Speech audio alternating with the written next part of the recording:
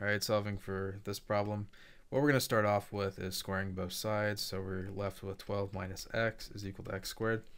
I'm going to move everything to the right side so I get x squared plus x minus 12 equals 0. Um, this can be factored to be x plus 4 and then x minus 3 equals 0. And then we're left with here is x is equal to negative 4 and 3, but we need to be careful. Um, x, one of these might not be a solution. I think it's negative 4. Yeah, it's not, it can't be negative 4.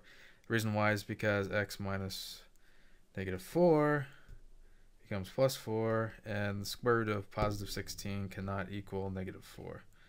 So that doesn't work. But 3, so we get 12 minus 3. So we get square root of 9 equal to 3. Yeah, square root of 9 does equal 3. So x is equal to 3. Just got to be careful. All right, there you go.